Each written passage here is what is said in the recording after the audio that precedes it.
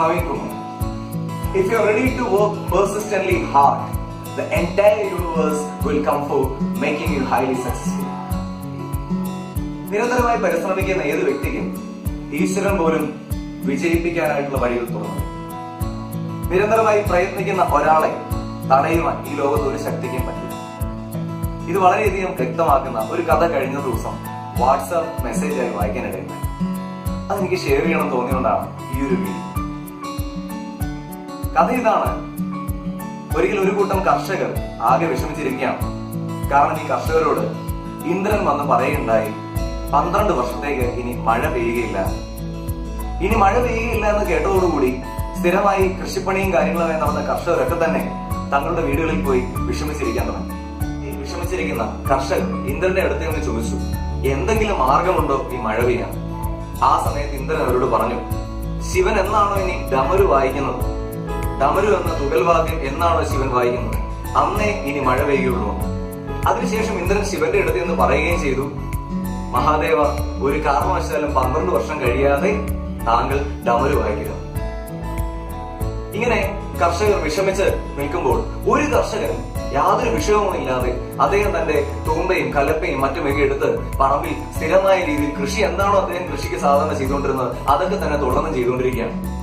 അദ്ദേഹം അവിടേക്ക് കിളയ്ക്കുന്നുണ്ട് വിത്ത് പാകുന്നുണ്ട് പന്ത്രണ്ട് വർഷത്തേക്ക് മഴ പെയ്യില്ല എന്ന് ആലോചിക്കണ സുഹൃത്തുക്കളെ ഈ സമയത്താണ് ഇദ്ദേഹം തുടർച്ചയായി ഇതേ പ്രക്രിയയിൽ ചെയ്തുകൊണ്ടിരിക്കുന്നത്. പന്ത്രണ്ട് വർഷം കഴിഞ്ഞിട്ടേ മഴ പെയ്യൂ എന്നറിഞ്ഞിട്ടും വീണ്ടും സാധാരണഗതിയിൽ കൃഷിപ്പണികളിൽ മുഴുകിയിരിക്കുന്ന ഈ കർഷകനോട് അദ്ദേഹത്തിന്റെ സുഹൃത്തുക്കളൊക്കെ ചെന്ന് ചോദിച്ചു താങ്കൾ എന്തിനാണ് മഴ പന്ത്രണ്ട് വർഷത്തിന് ശേഷം പെയ്യൂ എന്ന് അറിഞ്ഞിട്ടും ഇതേ പ്രവൃത്തി വീണ്ടും ചെയ്തുകൊണ്ടിരിക്കുന്നത്?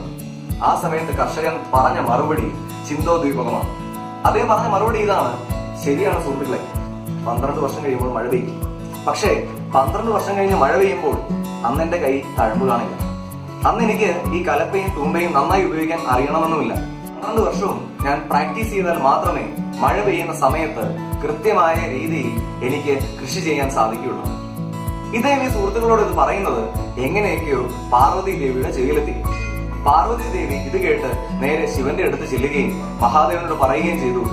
താങ്കൾ ഡമരു ഉപയോഗിക്കാൻ പന്ത്രണ്ട് വർഷം വൈകുകയാണെങ്കിൽ പന്ത്രണ്ട് വർഷത്തിന് ശേഷമാണ് താങ്കൾ ഇനി ഡമരു വായിക്കുന്നതെങ്കിൽ ഒരു പക്ഷേ താങ്കൾ ഇപ്പോൾ ചെയ്യുന്നത് പോലെ അതേ ഭംഗിയിൽ ഡമരു വായിക്കാൻ പറ്റണമെന്നില്ല.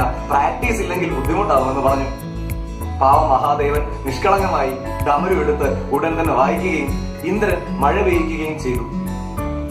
ഈ മഴയത്ത് മറ്റു കർഷകരൊക്കെ യാതൊന്നും ചെയ്യാത്തതുകൊണ്ട് അവരുടെ പറമ്പുകളിലോ മറ്റോ യാതൊന്നും സംഭവിച്ചില്ല. നമ്മുടെ അധ്വാനിച്ച കർഷകന്റെ പറമ്പിലുള്ള ഓരോ വിത്തും മുളപൊട്ടാൻ തുടങ്ങി. നൂറ് മേനി കൊയ്യാൻ അദ്ദേഹത്തിന് സാധിക്കുകയും ചെയ്തു. ജീവിതത്തിൽ വലിയ വിജയം കൈവരിക്കണം എന്ന് ആത്മാർത്ഥമായി ആഗ്രഹിക്കും അതിനുവേണ്ടി നിരന്തരമായ രീതിയിൽ പ്രവർത്തിക്കുകയും ചെയ്താൽ യാതൊന്നും നമുക്ക് സാധിക്കാത്തതല്ല.